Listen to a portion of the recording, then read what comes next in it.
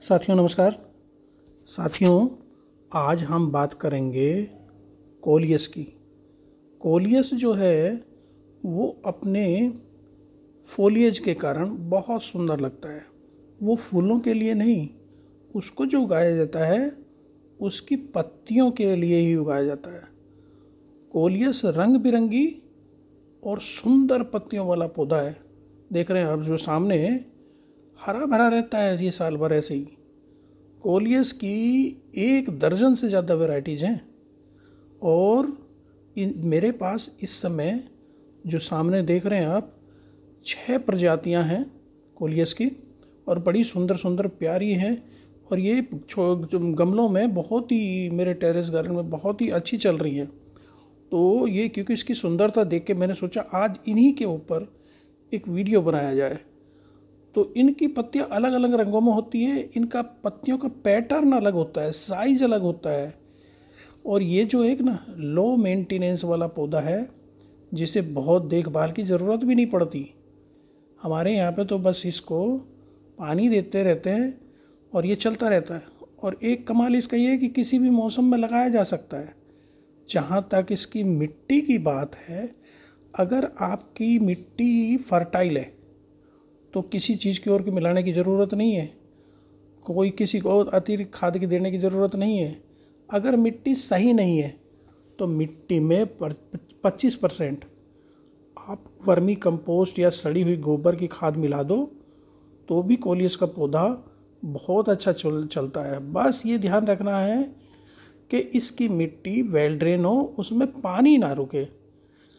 तो पानी ना रुके इसके लिए गमले में क्या करना होता है हमें? 25 परसेंट हम कोकोपीट या बालू मिला देनी चाहिए। इससे गमले में और गमले के नीचे छेद होना चाहिए, जिससे छेद से पानी निकल जाए। और महीने में एक बार अगर आधा चम्मच एन के खाद पानी में मिलाकर डाल दें तो ये बहुत ही चलता है। एन के हमारा बैलेंस फर्टिलाइज़र होता है तीनों पोषक तत्व तो उसमें होते हैं एन पी और के तो उसको आधा चम्मच गमले में डाल दे तो बहुत ही बढ़िया काम करता है ये पानी मिल मिला के। तो कोलियस प्लांट जो है दो तरीके से ये लगता है। इसमें इसमें जो दो ए, हमने क्या हुआ एक प्लांट के एक डाली ऐसी टूट गई और वो दूसरे गमले में लगा दी तो वो देख रहे जो ये गमला, ये पौधा जैसा सामने है, ये ऐसे ही उगा है। हमारे दूसरे की कटिंग लगा दी थी तो दो तरीके से बीज से भी लगा देते हैं और कलम काट के भी इसको लगा सकते हैं। फूल के बीज को बोकर नया पौधा तैयार करना बहुत आसान है। तो चलिए, क्या कर, तक कैसे कैसे लगाते हैं? देखिए, दो पौधे देख रहे हैं, एक छोटे वाला है, ये इसी की कलम से लगाया हुआ है। और ये देखिए, कितनी सुंदर, इनकी रंग बिरंगी पत्तियाँ होती हैं।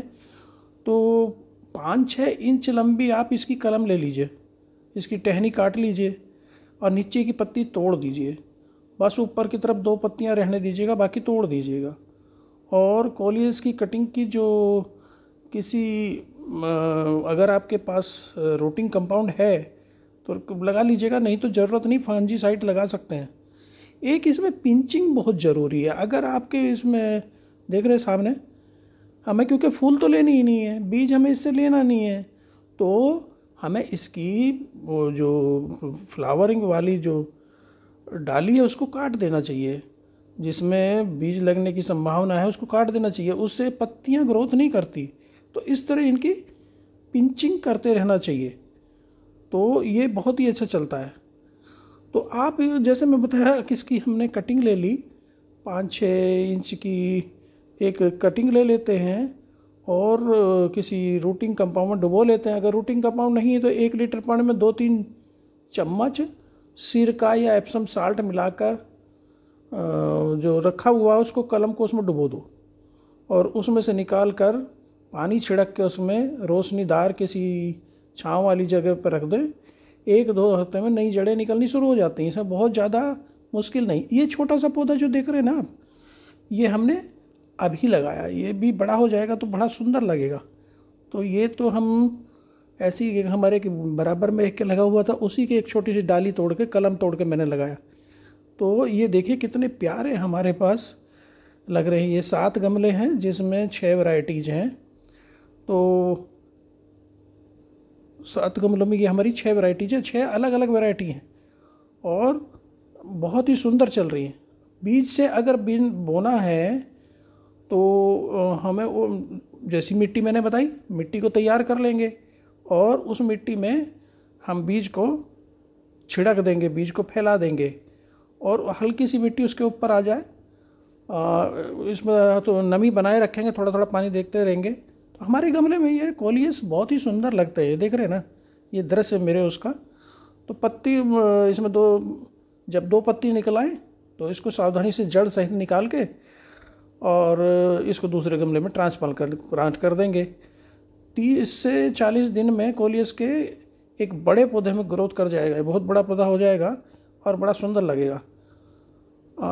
इसमें जैसे मैंने बताया, घनी पत्तियाँ लाने के लिए सब बूसी बनाने के लिए इसकी पिंचिंग, जो ग्रोथ करती हैं ज़्यादा, एक तो वो डाली जिन पर फूल आ रहा है, बीज बनने वाला, उसकी पिंचिंग कर दीजिए। और इसके लिए कम से कम छः से आठ इंच का जब पौधा हो जाए तो उसके बाद ही करना चाहिए पिंचिंग पौधे की टिप को तोड़ देते हैं, उसको पिंचिंग कह देते हैं हम। कि जो ज़्यादा बढ़वार कर रहा है, ज़्यादा बढ़वार ना करे, उसकी पिंचिंग करते रहे। धूप की जहाँ तक बात है कोलियस के पौधे को सीधी धूप की ज़रूरत नहीं है। इसी ऐसे जगह पर रखना है, जहाँ कुछ घंटे धूप आती है।